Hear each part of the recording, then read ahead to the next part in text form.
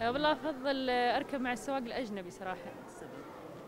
آه، يعني آه، ما راح يطالع. السعودي يعني عربي مثلي بيقعد يطالع بيقعد ال- الأجنبي يعني حتى لو بيسوي شيء لا سمح الله ولا بيتحرش ولا بيتكلم يعني حده بيتسفر. ممكن السائق السعودي أميل له أكثر.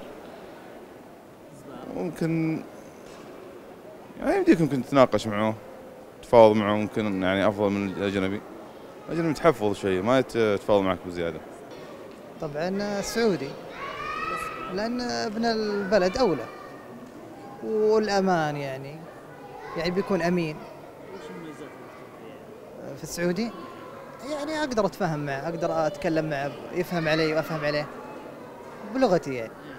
حقيقة ابن الوطن هو الأولوية له وأنا الحقيقة أنا لو رجعت رجعت لي شخصيا فأنا أفضل ابن الب- البلد. ليش؟ لأولا فيها أولا ضمان ضمير مع احترامي تقدير ال- ال- ال- العمالة الأجنبية لكن يبقى ابن البلد هو الركيزة الأولى اللي يعتمد عليها اقتصاد البلد. فابن البلد الحقيقة بيكون هو ابني أو ابن عمي أو أخي أو عمي. فابن البلد مهما تح- يعني تكلموا في الآراء وكذا يبقى ابن المواطن هو الرقم واحد. يعني ما تعودوا أول شيء على إنه يكون السايق آه، سعودي. غالبا تعودوا آه، تعودت السيده انه يكون السايق دايم أجنبي. فمن هذه الناحية ناحية التعود الناحية الثانية إنه عربي وبيقعد يتكلم وزي كذا يعني.